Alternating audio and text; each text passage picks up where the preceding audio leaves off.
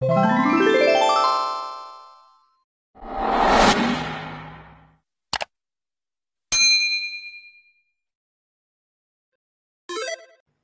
semuanya, kembali lagi di channel YouTube aku Idapar. Jadi di video hari ini aku mau sharing mengenai alternatif selain Shopee yang bisa kita lakukan untuk dapat komisi.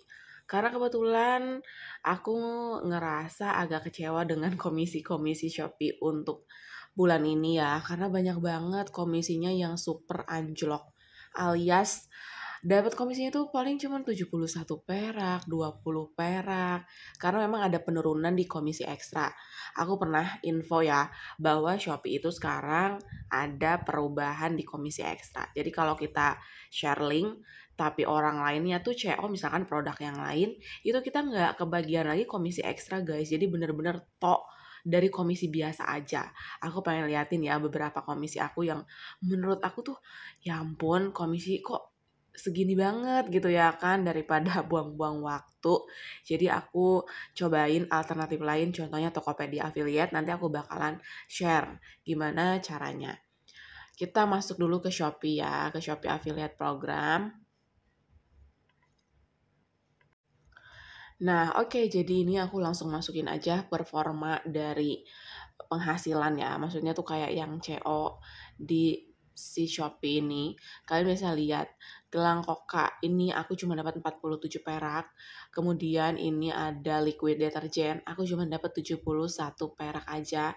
Kemudian COD Pispot cuma dapat 280 ya. Jadi itu bener-bener murni kayak semacam gak ada komisi ekstranya sama sekali. Dan kadang aku misalnya share link link A misalkan.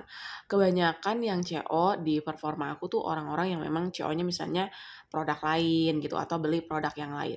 Kadang kalaupun misalkan kalau dulu ya, dulu itu karena yang CO produk lain pun masih dapat komisi ekstra, itu kita masih dapat lumayan lah ya untuk komisi yang didapat per bulan. Tapi karena sekarang udah ada perubahan terbaru mengenai komisi ekstra, jadi kita cuma dapat pure komisinya kayak gini. Kita lihat detailnya. Nah, jadi kita itu nggak dapat lagi komisi ekstra alias cuman komisi Shopee-nya aja.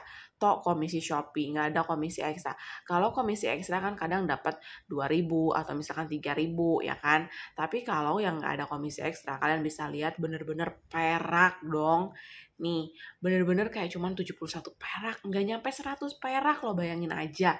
Daripada kayak gitu aku lebih memilih cari cadangan alternatif selain Shopee affiliate.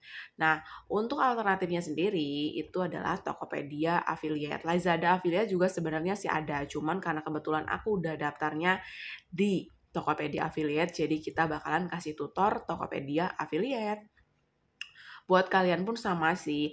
Tapi kalau misalkan Shopee-nya tuh misalkan udah lumayan oke, okay, kemudian bisa bertahan, kalau menurut aku sih lanjutin aja. Cuman kalau misalkan pengen yang ada uh, apa namanya? ada sampingan yang lainnya gitu selain Shopee, boleh buka Tokopedia affiliate juga ya.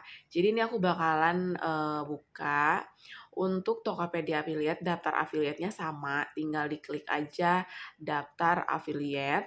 Nah, kemudian biasanya itu nanti munculnya seperti ini.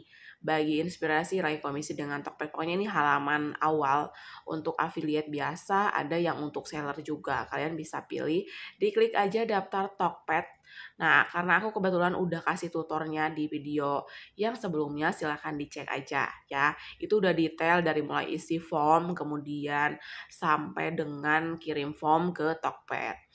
Nah, aku bakalan jelasin dulu komisinya berapa sih keuntungan yang bakalan kalian dapat kalau misalkan kalian bergabung di Tokopedia Affiliate. Untuk komisi, range-nya nggak terlalu jauh sih dengan Shopee. Waktu dulu ya, waktu awal-awal Shopee ada. Kalau sekarang kan udah jelas jauh banget gitu perbedaan komisinya. Nah, komisinya itu kita bisa dapat sampai 30%, tapi itu komisi tertinggi ya. Jadi nggak yang pure dapat 30%, sebenarnya sama di 10% untuk semua produk atau yang sesuai kategori oleh Tokped. Komisinya itu kalian bakalan dapat maksimalnya di 20.000 aja untuk barang yang terjual.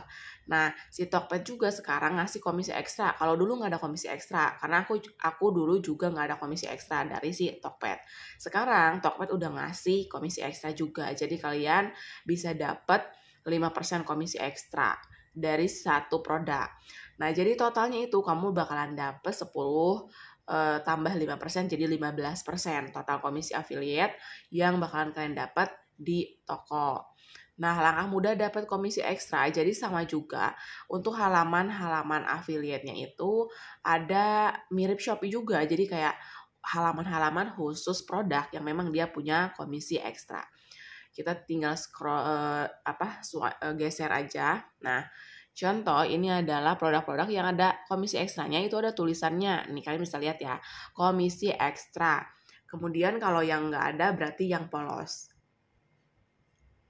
Nih berarti yang yang benar-benar toh nggak ada tulisan nih komisi ekstra kan yang ada warna hijau. Kalau yang nggak ada berarti memang tidak ada komisi ekstranya seperti itu ya.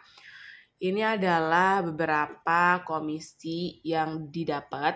Jadi misalnya nih ada komisi ekstralnya 5%, kemudian ada komisi Tokpednya misalnya range-nya 10 sampai 20%. Nah, jadi kalian bakalan tetap dapat komisi ekstranya yang tinggi karena kan memang dia nggak ada maksimalnya kalau komisi ekstra seperti itu ya. Dan untuk seller juga kamu tetap bisa dapat ya. Silakan eh, daftarnya berarti affiliate seller. Itu khusus untuk para seller-seller ya. Terus kalau misalkan kamu pengen lihat eh, bener nggak sih kalau Tokped itu ada komisi kunjungan. Nih aku udah sempat baca ya untuk beberapa apa namanya kriteria atau ketentuan komisi gitu. Tunggu kita scroll dulu karena jadi di uh, Tokopedia affiliate itu ada ketentuan komisi kunjungan. Jadi kayak cuman berkunjung doang tapi bisa dapat komisi tapi untuk produk produk-produk tertentu. Jadi nggak semua produk itu kamu bakalan dapat kunjungan.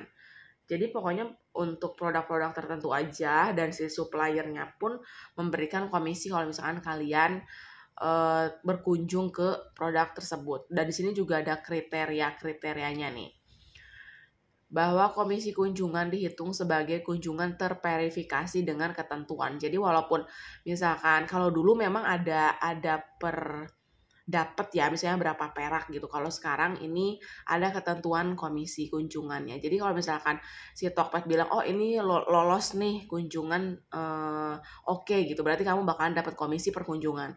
Tapi kalau misalkan syarat dan ketentuannya misalnya oh ini terdeteksinya menggunakan bot atau misalkan terdeteksi kecurangan itu bakalan nggak bakalan dapet, maksudnya nggak nggak akan ya nggak akan ada komisinya seperti itu. Seperti itu ya guys untuk si Tokped. Gimana sih kak kalau misalkan mau share produk dari si Tokped? Kalau share produknya gampang sih. Nih, masuk aja ke halaman. Kemudian di sini ada tanda bagikan, kamu klik aja. Nah, di sini ada salin link. Jadi diklik aja salin link. Nah, berarti link berhasil disalin kamu tinggal share aja produk apa yang pengen kalian share ke seluruh sosmed. Yang penting poin share linknya seperti itu. Harus saling tautan ya, jangan sampai misalnya langsung share ke WhatsApp atau misalkan langsung share ke Instagram atau ke Telegram dan lain-lain. Pokoknya kita ikutin aja alurnya bahwa salin linknya itu harus dari sini ke salin link. Nah, selamat mencoba buat kalian yang pengen menemukan komisi baru di Tokopedia. Karena aku pun sama ketika komisi Shopee udah mulai jauh banget drastis dari awal dapat komisi sampai ada peraturan terbaru nih untuk komisi ekstra itu kayaknya kita harus mulai cari-cari peluang yang lain ya. Oke guys, itu dia video dari aku untuk hari ini. Semoga membantu dan jangan lupa like, comment, subscribe di video channel YouTube aku dan see you on my next video.